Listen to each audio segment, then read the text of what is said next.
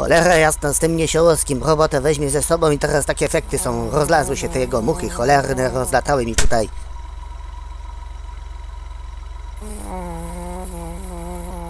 Tam jeszcze jedna jest, tam jeszcze jedna jest, panie premierze, tam, tam, wyborczą ją, najlepiej. To nie muszę Niesiołowskiego, panie premierze, to ta, ta kobita cholerna, no. A, to za tobą tutaj te muchy przyleciały. Za mną, ja się psikam dezodorantem.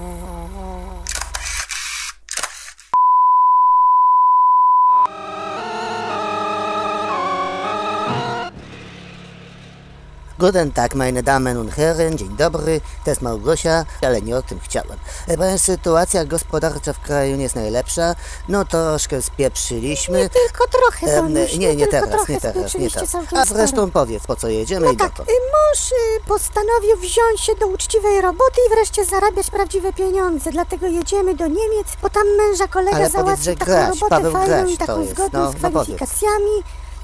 Y, Paweł Grasiu załatwił mu tę bardzo dobrą robotę. Dozorstwo u jednego takiego Jurgena w Willi. Mąż ma wprawę, potrafi skopać grządkę i z miotłą się obchodzić. Przez cztery lata przecież kopał na boisku i zadawał się z Piterą. E, Także ma doświadczenie.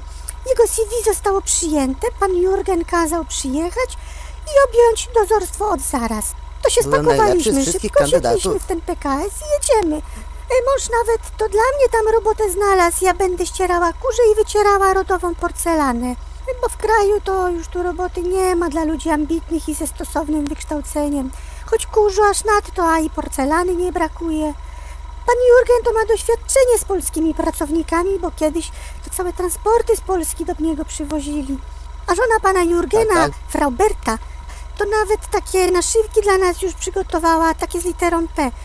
Zapewne przywitają nas zgodnie z tradycją piwem i brukwią. Będzie miło.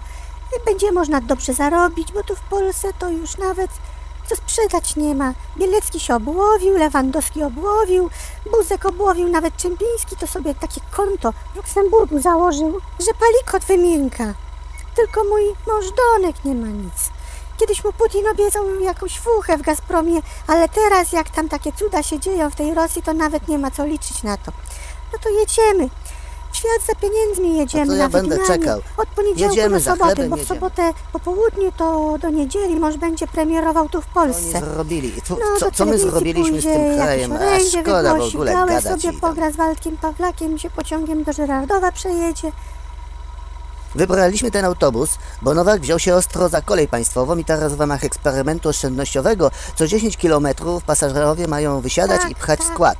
E, To woleliśmy już ten autobus. Małgosia wprawdzie ostro trenowała na siłowni, ale dużego składu by nie pchnęła.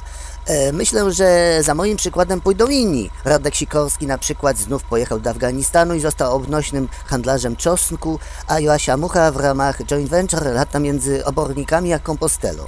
E, Bierzemy własne sprawy we własne ręce i własne pieniądze we własne kieszenie. Jeżeli więcej takich jak ja, śmiałków, właśnie. pojedzie do Tak, Rzeszy tak, na roboty tak, dozorskie, to wkrótce opanujemy wszystkie branże cieciarskie w I Niemczech. odkurzarskie też.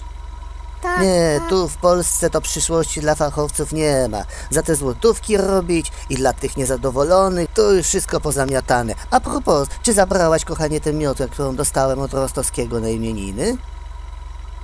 Jest w bagażniku podręcznym. Y, To dobrze, to dobrze.